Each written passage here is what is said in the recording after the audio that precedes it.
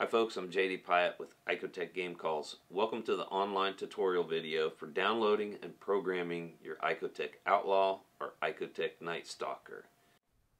Okay, let's go ahead and get started. Welcome to the tutorial for loading sounds to your Icotec Outlaw or Night Stalker game calls using a Mac version computer. Previously, it was an issue using a Mac because Mac hard drives would attach a ghost file to the file when it transferred from the hard drive of the computer to the SD drive of the caller. But we have since figured out there's a second party app called Clean My Drive 2, which is up here. I'm going to click on it, show it to you. Uh, the Clean My Drive 2 runs on your computer in the background. You don't have to do anything with it other than install it and allow it access to your external and internal computer drives. So that SD card being an external drive, once you plug it into your computer, Clean My Drive 2 will recognize it after you've set the properties to allow it access anytime you make changes to that SD card uh, it will clean off those ghost files. Those ghost files previously attached to the sound files when transferred to the SD cards to the callers would corrupt the cards and things would not work properly. So we've got this Clean My Drive 2 on my Mac system. Uh, it was a quick download and to be honest I don't even realize it's there and working. We do have information on our website along with a link, which I will take you there now. See in the information bar up top, we have a link for downloading sounds via Mac computer. If you click on that, it will take you to a page that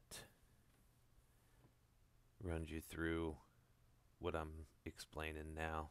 It also has the link to the App Store to go to and download this Clean My Drive 2.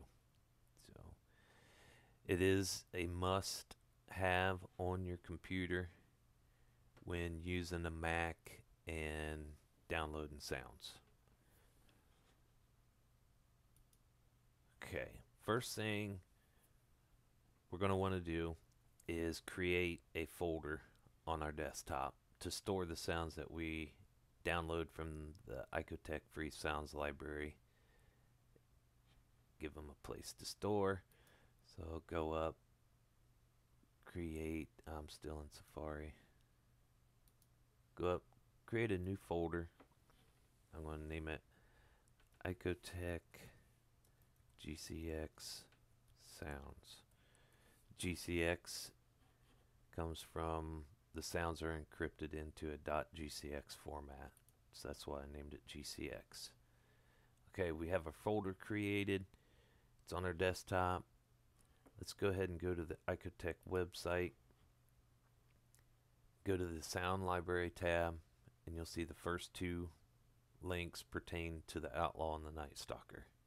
First tab being a preview sounds page where we have short sound samples available that you can click on and listen to to decide whether or not they are sounds you would like to download. I'd suggest having a pen and paper available when you do listen to them.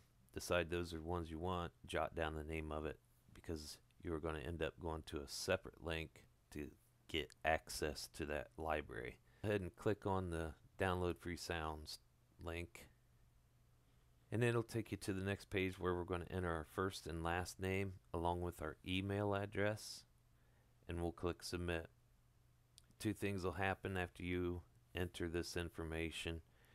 First being the website will take you to a, a thank you page for registering to download free sounds from Icotec. Next thing is it's going to send you an email from Icotec info and in this email, it's going to contain the password that is required to get into the library through Dropbox. and that password being Icotec1, all lowercase. And then you will also have the live link to access the sound library. You'll see that it takes us to the password required page where I will enter Icotec 1 and click continue. Now I am in the outlaw night stalker.gcx file sound library from Icotec where you see all the sounds we downloaded in 2018 are stored in this folder. All other sounds that we have available already come on the caller with the 240 that are included. So for the GCX library, you know, it's it's only anything that we've recorded after the release of the caller. So for this video, I'm going to choose the Apollo Howls and Apollo Invite. And how I will do that is to the left hand side of each sound file, you'll see these empty boxes. I'm going to click on it to check mark it, but you see it turns it blue, highlights it. And to highlight the second sound. So these are the two sounds I'm going to download and add to my Night Stalker. Got them highlighted I'll click download and you will see the download start. I'll click on that download and there is a folder containing the two sounds that we just downloaded. So I am going to minimize, minimize, and then bring back up this, oh, wrong one. Bring back up Safari, move it to the side, I'm going to click, hold down, and drag that into, actually I'm to put it on my desktop. Minimize this out of our way. Open up this folder. There's our two sounds. Apollo Howls and Apollo Invite. Now I know on my Night Stalker I have 295 sounds. So I'm going to name this first one rename it, adding the three digit numbers 296, and then the second one will be 297. Okay, so now our sounds are downloaded from the Icotec library. They're renumbered. I'm going to highlight both of them. I'm going to drag them into my folder and drop them. This folder I no longer need, so I'm going to place it in the trash bin. Double check. Both sounds are in the folder. Both sounds are numbered. They are ready to add to my caller. So I'm going to connect my call. Okay, now my call has been connected to my computer. My Mac places the drive on my desktop, names it no name. Open up no name and as you can see my sound files this is drive 1 of my caller and here we have 295 sounds so I'm going to add to drive 1 these first two sounds. Drag through them I'm going to place them into my folder. Okay, both sounds are added. As you can see, when you do this with the Mac, it just places them where you let go of them, whereas a Windows computer will actually add them in line. So I'll go up and go to my view, clean up by name, and it'll place them at the bottom for me.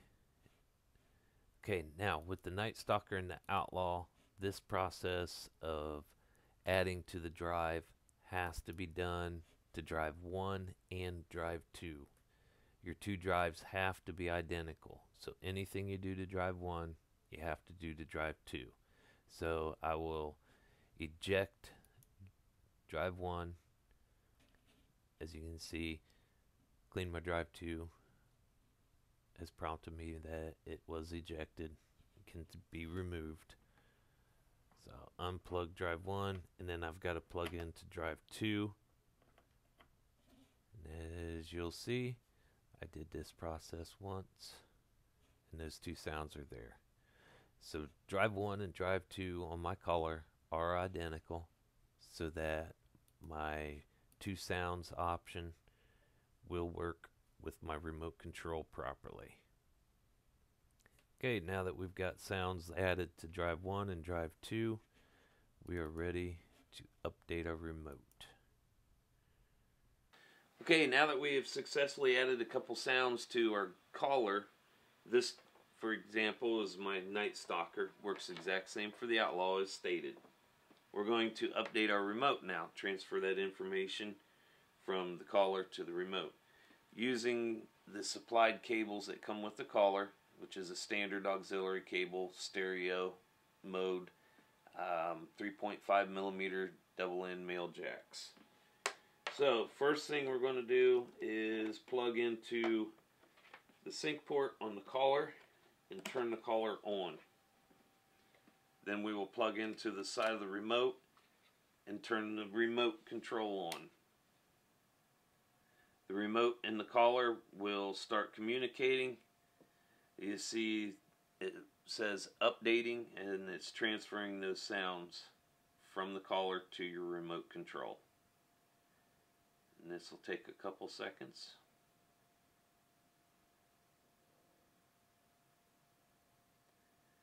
Then your remote will read data saving. Then it'll say send OK and flash. And then it'll show you your call list. At this point, shut them both back off, unplug. and let's test our sounds that we loaded.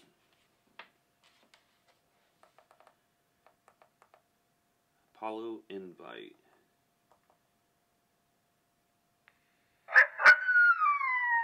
There we go. We have successfully loaded a couple sounds to our game caller. Updated our remote. Now it's time to go hunting. So, thanks for watching the video. Hopefully it helps everybody become successful with their first try. And we're spending more time in the field hunting. Uh, need any further information? Send us an email. Service at icotec.com. We'll be glad to help you out. Y'all have a great day. Icotec dead serious game calls and decoys.